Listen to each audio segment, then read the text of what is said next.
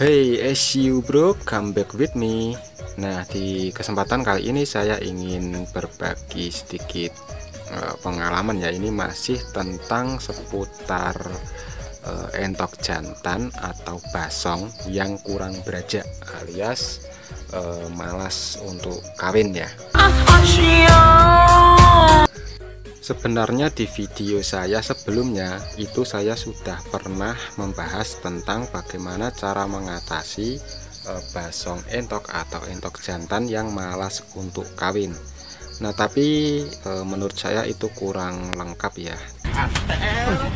Dan saya membuat sebuah video lagi. Ini insya Allah lengkap karena saya sudah bereksperimen atau telah membuktikan sendiri. Jadi kalau saya itu kalau mau membuat video saya uh, testing dulu ya testimoni dulu di kandang saya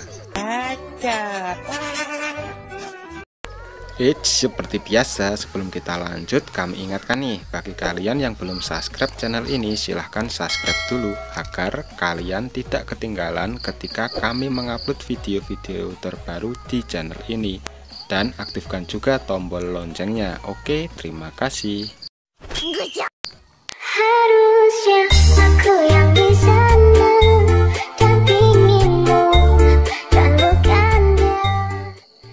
Nah ini adalah bahan-bahannya ya. Bahannya itu terdiri dari tiga macam.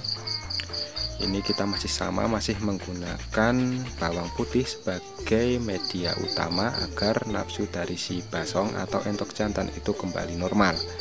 Ini untuk takaran satu ekor oh, Satu ekor basong ya.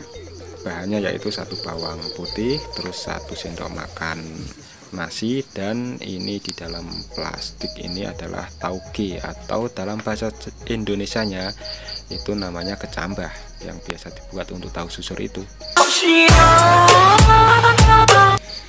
Nah ini untuk takaran satu ekor basong atau satu ekor entok jantan ya ini takarnya seperti ini. Satu siung bawang putih satu sendok makan dan tauge secukupnya.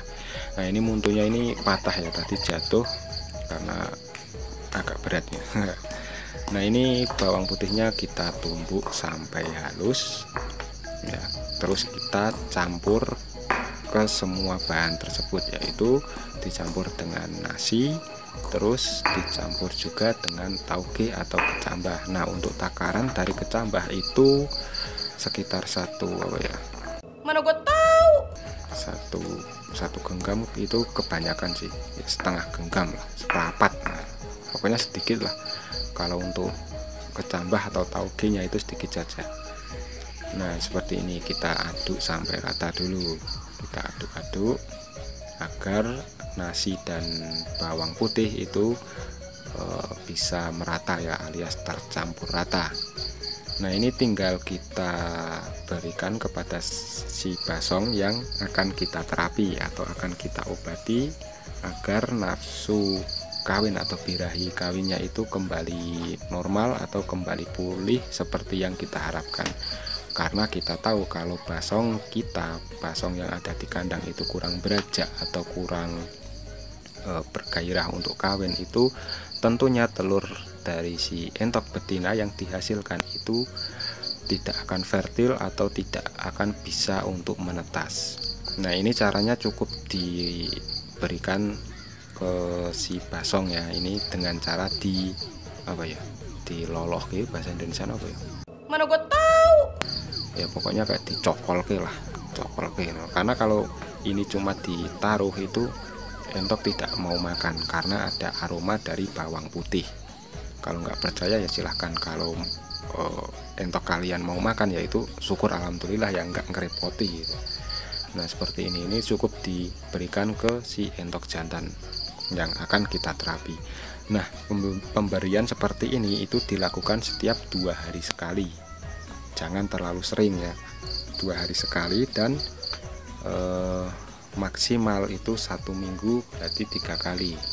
Nah setelah satu minggu tidak ada tanda-tanda dari perbaikan nafsu birahi si basong. Itu berarti tandanya kita harus segera mengganti basong yang lama dengan basong yang baru alias kita harus e, membeli basong yang baru ya basong yang baru dari dari luar yang tentunya e, nafsu birahinya itu jauh lebih baik daripada punya kita.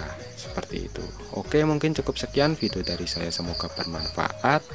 Kami akhiri. Wassalamualaikum warahmatullahi wabarakatuh. Salam sukses salam pejuang ternak